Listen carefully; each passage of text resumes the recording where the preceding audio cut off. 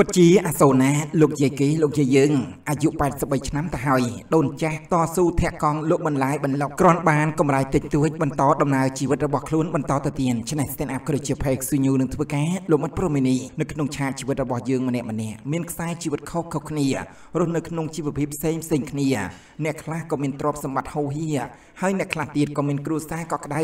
រស់នៅស្រណុកសុខស្រួលប្រកបដោយសុភមង្គលចំណែកឯអ្នកខ្លះទៀតទោះបីជាវ័យចំណាស់ទៅហើយនៅតែត្រដរប្រឹងរស់ប្រឹងរោគមួយថ្ងៃទៅមួយថ្ងៃដើម្បីជីវិតតស៊ូមិនគិតនឿយហត់ទោះបីជាមានជំងឺប្រចាំកាយក្តីក៏មិនបានសម្រាកសោយសុខបានដូចគេដែរស្របពេលជាមួយនឹងករណីដូចជាលោកយាយវ័យចំណាស់ម្នាក់ដែលត្រូវបានបង្ហោះទៅដោយគណនី Facebook មួយដែលមានឈ្មោះថាផល្លាភុនដែលលោកយាយមានវ័យ83ឆ្នាំទៅហើយតែនៅតែតស៊ូធាក់កង់ដល់ចាស់មួយគ្រឿងដើម្បីធ្វើការលោកបន្លែបន្លុកគ្រាន់បានយកកម្រៃបន្តិចបន្តួចនិងចិញ្ចឹមជីវិតរបស់ខ្លួន បន្តដំណើរទៅមុខទៀតនៅក្នុងនោះផងដែរក៏យើងឃើញថានៅថ្ងៃទី19ខែសីហាឆ្នាំ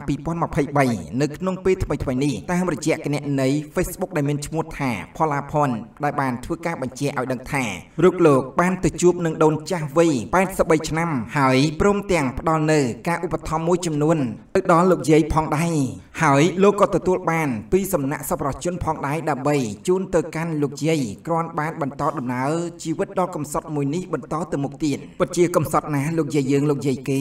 នៅក្នុងវ័យ83ឆ្នាំទៅហើយនៅតែបន្តដំណើរលោកបន្លែបន្លុកបន្តិចបន្តួចដើម្បីបន្តដំណើរជីវិតដ៏កំសត់របស់លោកយាយបន្តទៅទៀតដោយយើងបានដឹងថាវ័យរបស់លោកយាយគឺជាវ័យដែលត្រូវសម្រាជាវ័យដែលត្រូវចូលវត្តចូលវាដើម្បីសន្សំកុសលផលបុណ្យរបស់ខ្លួនតែដោយសារតែជីវភាពលោកយាយមិនអាចទៅវត្តទៅវាបានទេដូច្នេះត្រូវតែបន្តដំណើរជីវិតរបស់ខ្លួនដោយការលោកបន្លែបន្លុកបន្តិចបន្តួចដើម្បីបានប្រាក់កម្រៃនៅក្នុងការចិញ្ចឹមជីវិតរបស់ខ្លួនបាទជាងព័ត៌មានដែលយើងខ្ញុំបានលើកឡើងក៏សូមបញ្ចប់ហើយក៏សូមអរគុណចំពោះការចំណាយពេលវេលាដ៏មានតម្លៃរបស់ប្រិយមិត្តទាំងអស់គ្នាដែលបានទស្សនាវីដេអូនៅលើ Channel Stand Up ក៏ដូចជា Page Sunyu របស់យើងខ្ញុំតាំងពីដើមរហូតដល់ចប់ផងដែរបាទសូមអរគុណសូមជម្រាបលា